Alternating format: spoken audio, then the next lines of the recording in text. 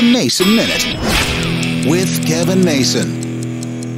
As businesses continue to struggle, they're trying to raise their profits without losing customers. And for some, it's not working. Recently, McDonald's announced that they were going to cut some costs because they realized they were squeezing customers' pocketbooks too much. But then the CEO of McDonald's comes in and says, just download our app. That's the best way to save because he knows they can track your behaviors. They can track what you're doing online to be able to exploit that data to use it for their benefit. Whenever a company asks me to download their app, I immediately bristle. I understand how this works. I do it for a living, but I'm not going to give them all that free data if they think I'm going to do it for a free milkshake, a free ice cream cone, whatever it is. My data is worth more than they're willing to pay for it. I realize this is a cat and mouse game, and a lot of people will do it. They will download a fast food app, they will download a restaurant app, they will download a business app, and give away all the information that they can track behind the scenes to get something free. But I have a feeling the consumer is going to start boycotting that because they're expecting too much and giving too little.